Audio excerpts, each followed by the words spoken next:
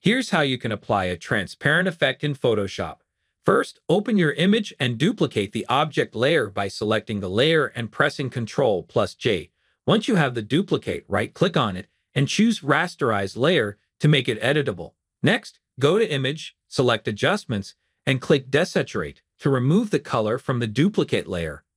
After that, change the blend mode of the duplicated layer to Screen in the Layers panel to achieve the transparent effect.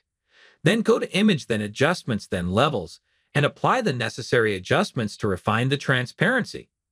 Now show the main object layer. Use the elliptical marquee tool to create a selection around it.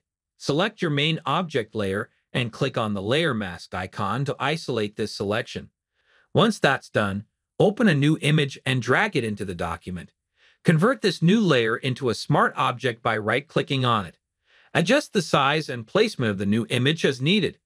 Finally, make the second layer visible, click on the layer mask, and use the brush tool to paint over the mask, refining the transparency effect and blending the image seamlessly.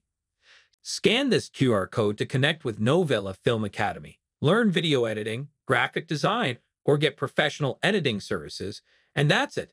Let us know what you'd like to see next. Drop your suggestions in the comments below. Subscribe to Novela Film Academy for more such videos.